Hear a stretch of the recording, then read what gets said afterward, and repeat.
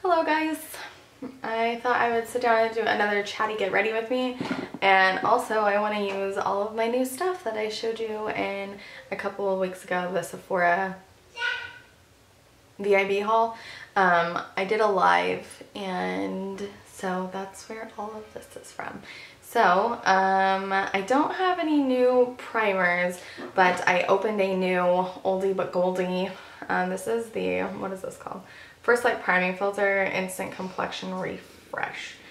If you've been with me for a while, I think it was like last year, I was in love with this stuff. I used this every single day and I loved the way it made my face feel. It's super refreshing. It feels like skincare. And it also did like a little bit of blurring. It doesn't really fill pores or anything like that, but it feels so good for anybody who is dry like I am. I love that stuff. Um, so my foundation's gonna be exactly the same. Um, you know, I had a couple of foundations in my like wish list, uh, one of which, one of which was the new Dior Cushion Foundation. that thing's like a 80 something dollars, I think. Um, and I also have had the La Mer foundation in my wish list for like two years, I want to say. And for some reason, whenever it comes time for cart, like I can never pull the trigger because foundation isn't my thing. I'm not like, I just don't have good luck with it. I feel like I always pick wrong colors. I feel like I don't pick the right finishes, even though I know I'm a dry skin girl. Like, it's not like I go out and buy matte foundations and I'm like, gee whiz, I don't know what's wrong. It's, I don't know what it is. I just have horrible, horrible luck with foundations. I always end up returning them. But I, out of any foundations, I feel like I've had better luck with cushion foundations. Like that really pretty beauty people cushion foundation that has like those little girls on the front of it. Um, I had really good with the good luck with the white one. The Lumi cushion foundation from L'Oreal I had really good luck with. And I think there was a Maybelline Dream cushion one that looked really good on me, but I don't feel like any of them add up to this foundation. And I know this one isn't even the right color for me, as you can tell. I look very close face right now. Um, but once I get like all my face makeup on, no foundation like leaves me as confident in my skin as this one. And so, you know, when it comes to especially those two foundations that I just mentioned on my wish list, the La Mer and Dior, it's like a hundred, how much is the Mer one? Like over a hundred dollars. And then, like I said, the Dior one's like 80 something. I just feel like $80 could get me a freaking sweet prestige highlighter or you know what I mean like that's just my jam so everyone has their thing and that's mine so that's if anyone's wondering like girl you use the same foundation I have other ones they're probably all expired because literally this is the only thing that I use and it's just what I reach for um, I have a new concealer we used a new concealer in the last one and the coloring and everything was pretty good on that. The LA Pro whatever. But this one I'm really excited about. This is the NARS um, Radiant Creamy Concealer. I've heard really good things about this and so I'm really hoping. This is light 2.5 in Creme Brulee. It looks pretty light. So, oh. That I don't think is light enough actually but we'll see. I mean, I don't like a completely bright white under eye, but this actually has like a quite a strong peach undertone to it. That's interesting. I don't know how I feel about that color at all. I think I need like 1.5. I don't think that did anything. See, this is this is what I'm talking about. I have terrible luck with picking stuff especially online, man. It did definitely some color correcting, but it's not doing anything for brightening. I have used this a couple more times since that video and the brush has not gotten any better, just for anyone who's wondering. I just want a little bit of brightness to look a little bit more awake and to look like I feel somewhat better than I actually do. I feel like absolute crap, you guys. I can't even tell you.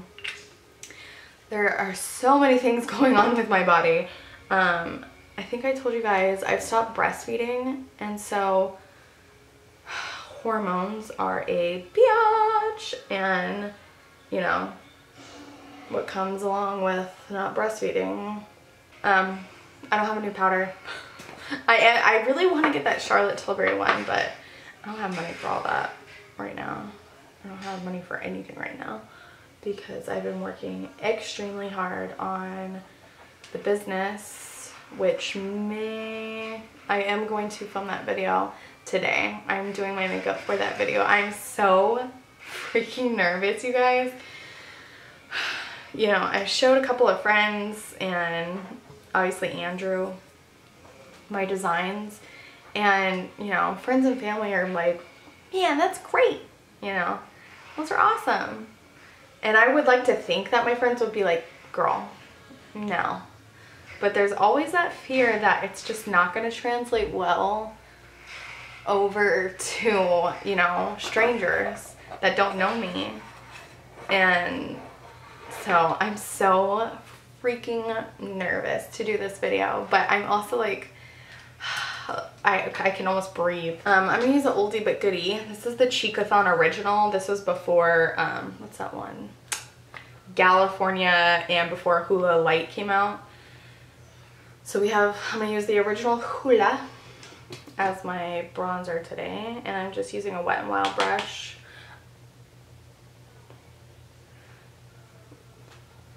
There's one design and I'm kind of nervous about it and it's a Halloween t-shirt and I designed it. I actually didn't design it but I had somebody design it for me and bought the rights to it and everything. And it's like a play on a logo but it's a play on a logo that is part of a controversy right now.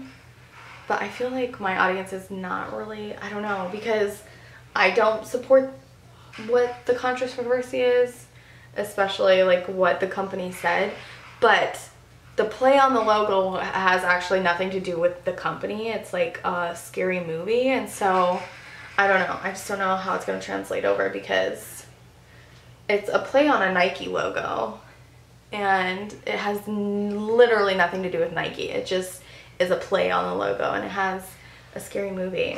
And so I'm kind of nervous about that because I don't want anyone to get the wrong impression that I support Nike or anything like that. It literally has nothing to do with Nike. Um, I'm going to use Dandelion. I freaking used this a couple, couple days ago and I forgot how good Dandelion is. It's like the perfect feminine soft pink.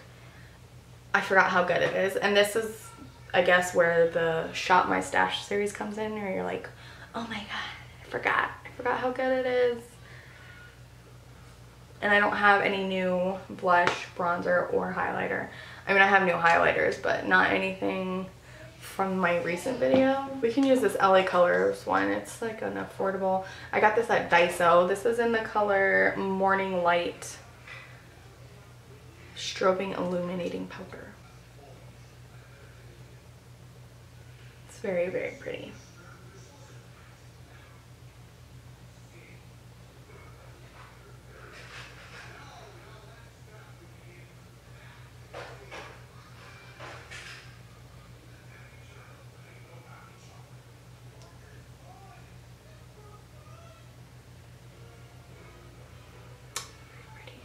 So I'm to do my brows off camera, but I have a new brow gel that we'll talk about.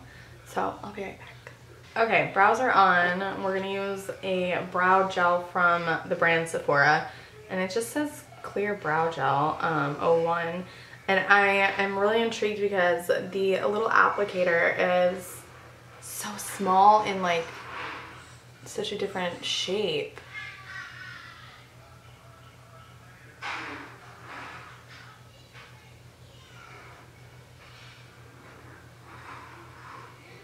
We'll see how strong the hold is on it. Man, that takes off a lot of product. Of the actual brow color which is not okay with me because I spend a little bit more time than I should on trying to get as much color in there. Probably be easier to use that like brow gel stuff, um, brow pomade, but I like the pencil. It's easier for me. I don't know how I feel about that. Um, okay, I'm going to use one of the new Jaclyn Hill Vault. Um, I don't want to do anything too crazy, I don't think. But I really haven't, I haven't used the Dark Magic palette yet. But literally the last two looks I've done have been grungy. I'm still going to do it. I don't care. okay, so I'm to use the Dark Magic one. This is the only one I haven't used yet. Um, I'm to go in with the color Poof, which is this one right here, and just run that through my crease. See what kind of transition color. Oh, that's a perfect transition color. I'm so nervous. I still need to do my hair too, which I wanted to film like how I curl my short hair, but I feel like it's exactly the same as when it was long. It just takes a little bit less time, so I don't, if you guys want me to, let me know, and I will. But I'm not going to today, just because I'm so nervous. I'm so nervous. And everyone like keeps telling me like how excited they are, and I feel like that makes me even more, more nervous. Like, what if they're terrible? You're your own worst critic, you know what I mean? Um, so I'm gonna go on with the color Shh right here. It's literally called Shish. Shish. Shh. S-H-H. Shh.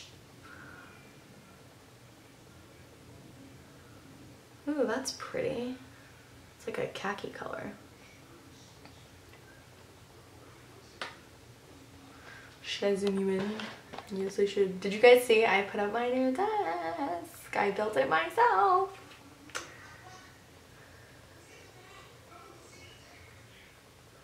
You probably saw it in the vlog because I'm like a week behind on tutorials. It I just last night edited one, the grungy one for today. I just put it up today.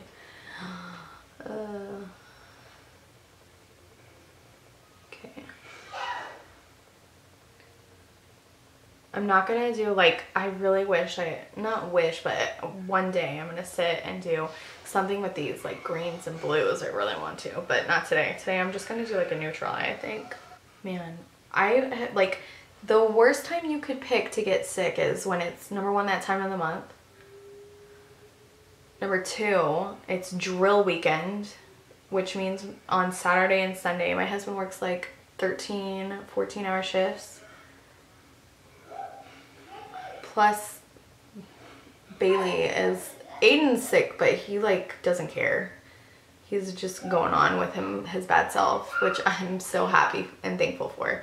But Miss Bailey is also sick, and at the same time that she's sick, she's cutting two teeth like they're finally popped out, and you could just tell that she does not feel good. And so her and I are like poor, sad people and I have no help. And starting like the week that this goes up, but in real life for me, like next week, I'm supposed to be starting like a ton of stuff for um,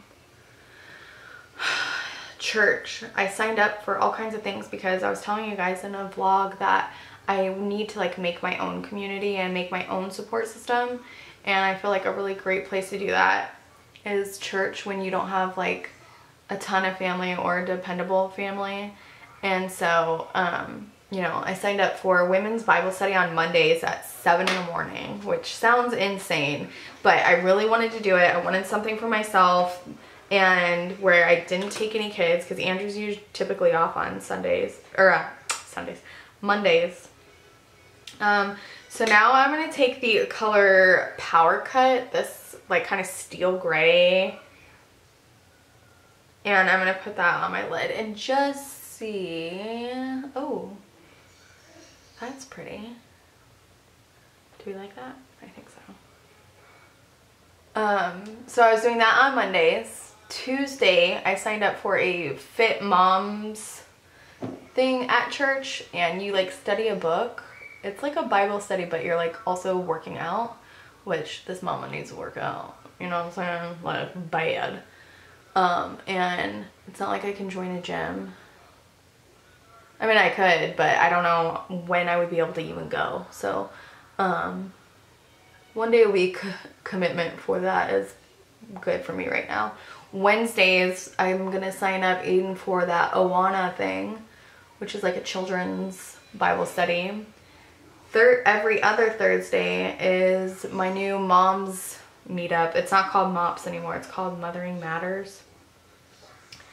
So, um, you know, I wanted to create this community. I wanted to have this support system, especially the time is upon us. Andrew is getting geared up for deployment. Like he's already starting training and stuff. He goes to his actual, they call it um, RTC training in November. Um, and then he leaves like the first week of January, I think. And that's all subject to change and it usually changes 18 million times before anybody decides what they're doing. But um, I think I'm just going to put a little bit of color with this uh, army green on the lower lash line. Ooh, very pretty. It's like super fall. Oh my gosh, that army green is so pretty, you guys. Holy cannoli. Like I said, um, the shimmers in my palette are not the best shimmers from Morphe in my opinion. And she was even saying that some people like return theirs and there were still inconsistencies. But I don't know. I don't know if I want to return it or it, I wouldn't return it. Like, give me my money back. I would maybe exchange it and see if I had better luck with another palette. Um, shimmers. Man, I'm running a fever. I can tell because I'm sweating, but I'm not hot. Like I am definitely sick. and so that's where I was going with that whole story is that all of this is supposed to be going on next week, but I would, I've said this before in the past, like knowingly going out and like bringing your sick children or your sick self to functions, I feel like is so selfish because I would hate for any other mom to feel how I'm feeling right now or for their babies to feel how my babies are feeling. So um, I think I'm gonna have to call off week one just because I don't want to run the risk of getting anyone else sick. I just feel like that's really shitty. Oh my gosh, I seriously want my whole eye to be this army green. Like, I need to do a look with this on top. It's so pretty. I love it. Yeah, I'm like sweating, you guys. I'm so sick. And I didn't realize it until just now when I realized that I'm like, I have chills and I'm sweating. And I know you guys are like, but didn't you start talking to your parents again? Yeah, we did. But there's my mom's still in um, California, so don't have much help there either. But that's okay because she's helping my grandma, which she needs it because she is sick, sick, sick. Much more sick than I am. Um, okay, we have a new eyeliner to play with. It's the Rihanna, what is this, Flyliner. Such a dumb name, but what are you gonna do? So I'm gonna see if I can do this with staying in shot, shall we? Ooh, it's pigmented.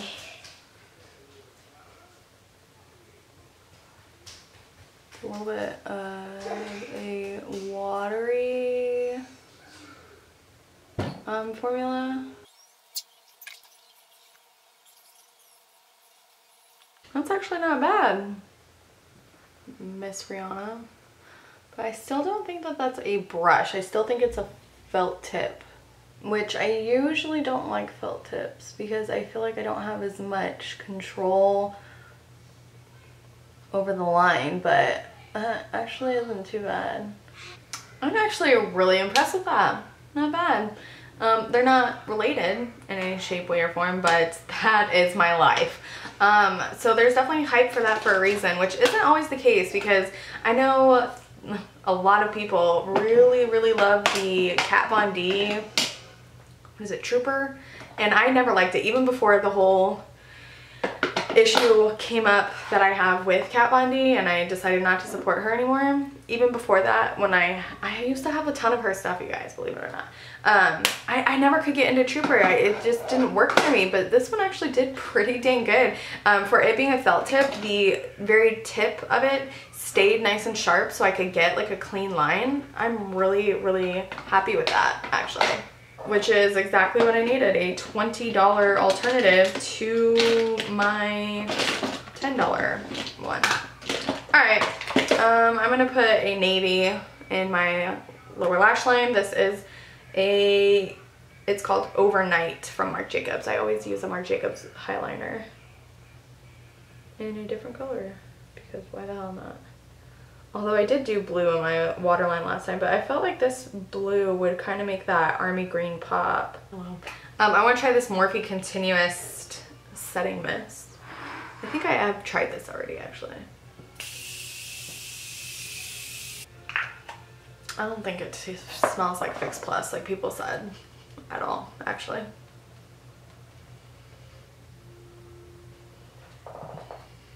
Not to me. Uh, I'm going to do some mascara real quick. The usual MAC on my lower lash line. I'm using my Better Than Sex because I want to really finish this up. And also, I somehow managed to lose my Stila Huge mini one. Doesn't mascara just like, ugh, I say this every single video, just makes the look. It really does though. Is anyone else's lashes completely different on one eye than it is the other? Like, this left eye is like, hi, how are you? Nice and fanned out. And this one's like, hi, how are you? It's like spiky and rough. And they don't like curl. Bastados. Okay. I want to try two lip products. One is going to be this Marc Jacobs lipstick.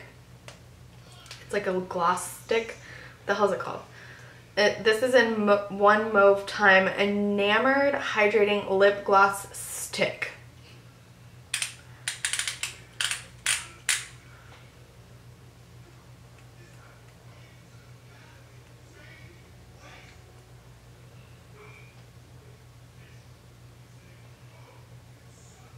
Holy moly. That is so hydrating and such a pretty color. Oh my gosh. Mm, I'm pretty sure I need to go get every single one of these. If you could feel this, it feels like the most comfortable lip balm. It's not sticky like a gloss at all. Oh my god. This is the best accident ever. Oh my gosh, I love that. That feels so nice.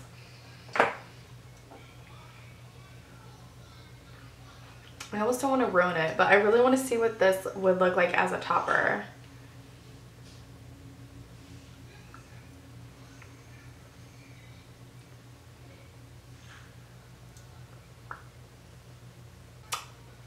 I love that. I love that. Oh my gosh. This is that NARS Orgasm um, lip gloss. It's actually called a full vinyl lip lacquer. I might actually just leave my hair like this. It kind of looks decent, right? Yeah, I should probably be a little bit more professional when it comes to um, my very first business premiere. Uh, I had just a little bit of um, mascara transfer under here, so I'm just going to buff that. And I'm also going to put just a little bit more of that army green underneath. Don't judge me. I like really want it to show, so I'm gonna add a little bit more. Yeah, much better. Okay, so I'm gonna officially call it there. It's a long enough video. I hope you guys enjoyed it. Um, wish me luck on filming this next video. Good. And I will see you guys in my next video. I hope you guys enjoyed this one. Okay, bye.